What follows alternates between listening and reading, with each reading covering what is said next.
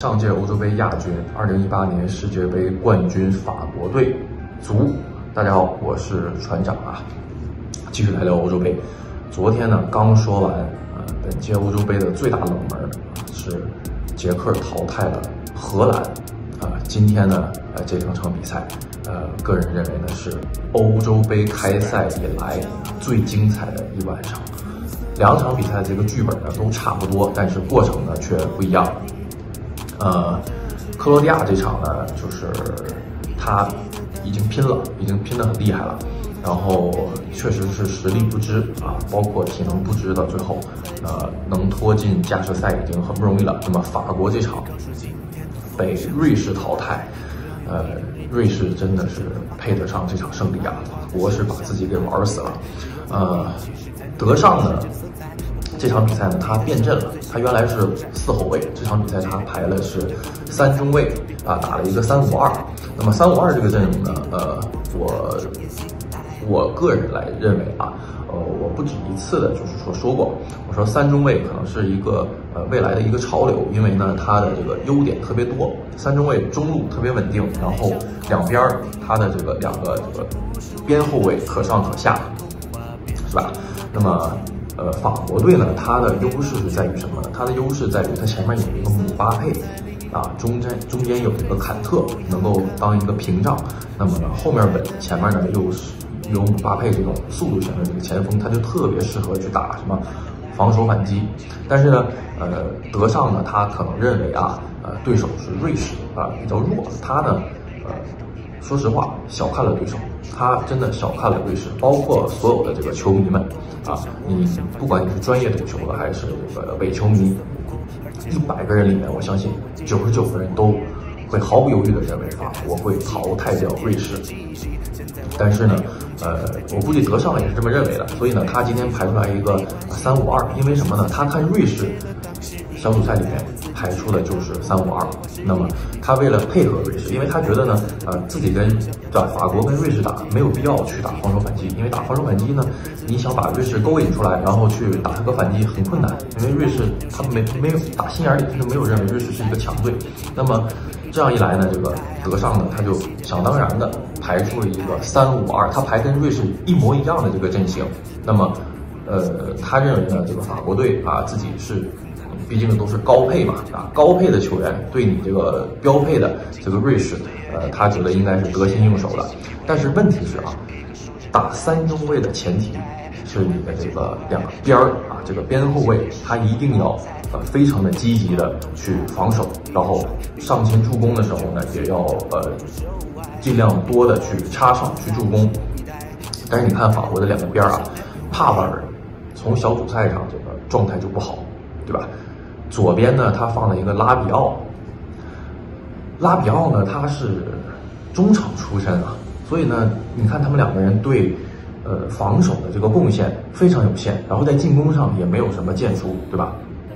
导致什么呢？你两个人，你如果防守不积极的话，中间本来是三个人，你两边就空了，所以你看瑞士就频频的在两边去打爆这个法国。那么法国，你如果想这三三个中卫把自己弄得都不会了，其实这三个中卫挺可怜的。他他们三个本来没事，前面放一个坎特其实是没事的。但是由于这个两个边儿他不经常回来，不经常回来的话，他们三个就得撑开。你一撑开，你中间你放放放一个坎特也不够啊，对吧？那放两个、三个这样才行。那么他一撑开，就给瑞士大把的这个机会了。然后法国这边呢，你看他虽然进了三个球，还。创造出了很多机会，但是你看啊，他绝大部分的这个机会和进球还是来自于中路，要不是博格巴，要不是这个格雷兹曼，对吧？呃，边路对球队的这个进攻的贡献也是寥寥无几。所以呢，呃，很明显他的这个三五二德尚的这个三五二是失败的。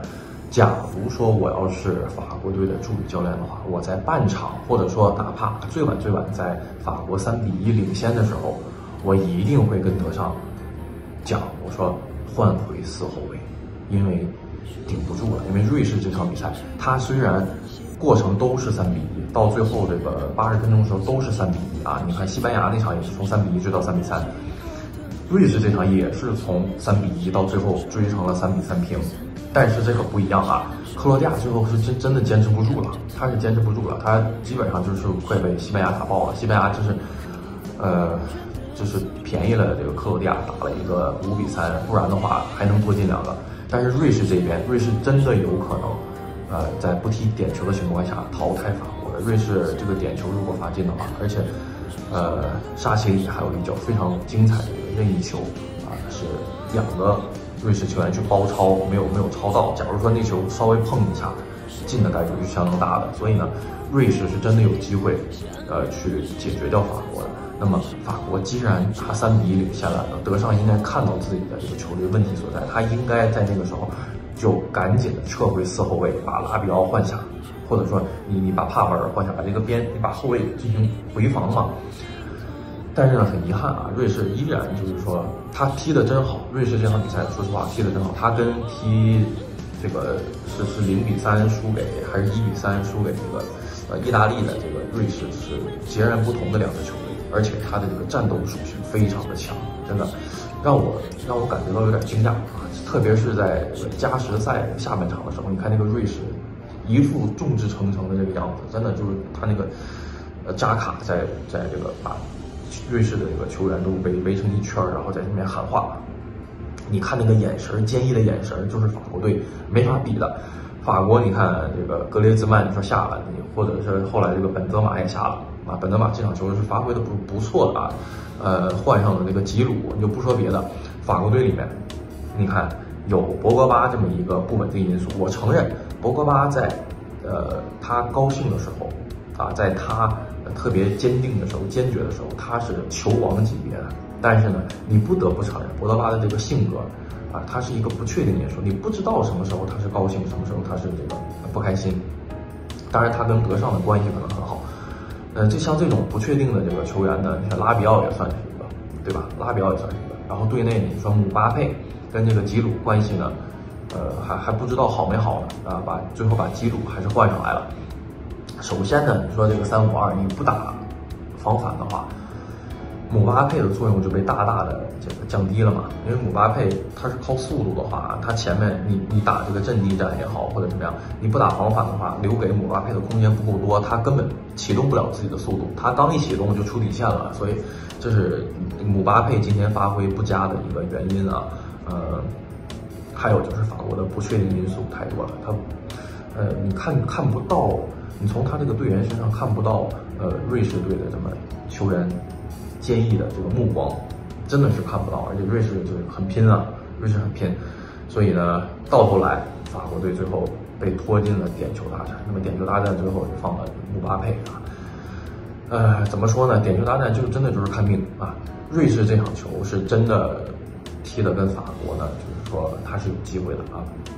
克罗地亚呢是差一点的，他是真的是侥幸的去逼平了西班牙啊，比较幸运啊。呃，那这两场球呢，大致来说就是这么个情况。那么接下来呢是瑞士对西班牙，那这样，呃，本来我不看好西班牙的，但这么一看呢，西班牙真的有可能进四强，因为西班牙踢的呢，他要比法国要稳一些。你说？说实话，真的，西班牙踢的要比法国稳。他玩自己的这个传控啊，当然呢，他有自己的一些小漏洞。呃，但是踢瑞士的话，呃，我认为西班牙还是，他踢的自己的这个传统意义上的传控足球。那么，呃，西班牙的真的是有可能进入到四强。呃，这样一来呢，现在夺冠的大热门啊，上届的世界杯的冠亚军葡萄牙和法国都被淘汰了。那么接下来剩下的。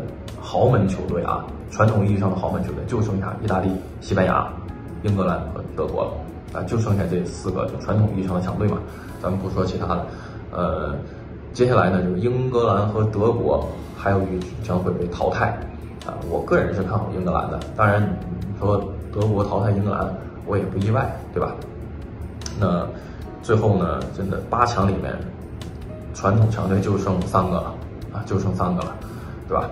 呃，这届欧洲杯呢，真的是，你，不要怕没有冷门，冷门有的是啊。欧洲没有多，真的，我们看了这么多场比赛啊，丹麦也好，捷克也好啊，包括今天的这个瑞士，呃，没有弱队，真的是没有弱队。所以呢，呃，赌球的小伙伴，呃，我还是要奉劝一句，就是小心啊，小心。然后，呃，接下来呢，我觉得比赛这个大战会刚刚开始啊，真的很少见，就是说，呃，这么多强队在淘汰赛第一轮就被淘汰掉这么多，啊，这个是是很少见的。过往也有，但是这么戏剧化的、这么精彩的这个比赛，呃，是非常少见的。那么今天呢，就跟大家简单的啊聊到这儿啊，有问题或者是有想法的话，视频下方留言啊，谢谢大家。